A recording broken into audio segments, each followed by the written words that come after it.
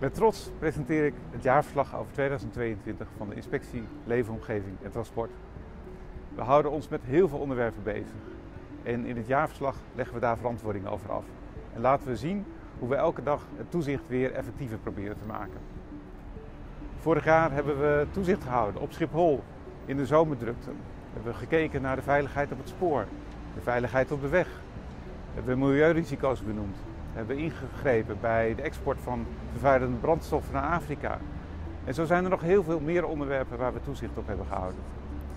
We hebben hard gewerkt om de vergunningverlening nog beter te maken en nog klantgerichter te werken aan het verstrekken van vergunningen.